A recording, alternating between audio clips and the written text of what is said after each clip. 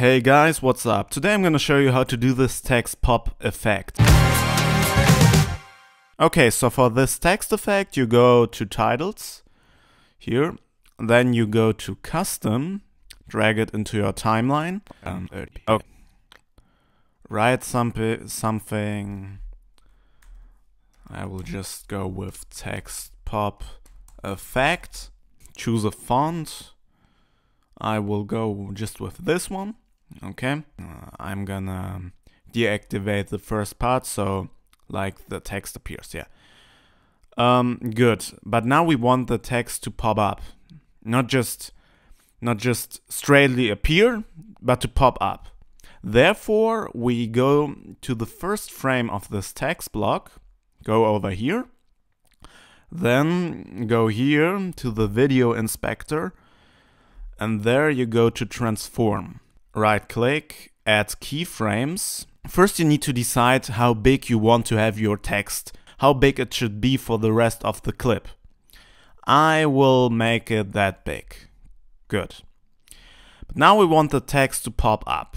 Our basic size is 208%. But for the first frame, to make this pop-up effect look realistic, we make it a little bit smaller like this.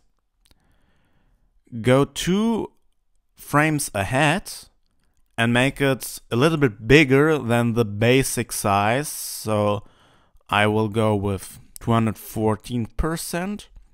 And then again, go two frames ahead. And there you put in your basic size, which should stay there for the rest of the clip. My basic size was 208%, so here 208. And now if we play it, we have our pop effect. And you can also use some kind of sound to um, make it uh, feel a little bit more intense. Just go here to the sound effects, type in pop, and then you have this balloon pop. Make it a little bit quieter. But now it feels even more natural to me. Good.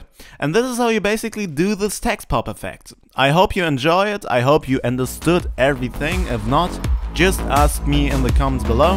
Thank you for watching, subscribe, like, do whatever you want. Have a nice day.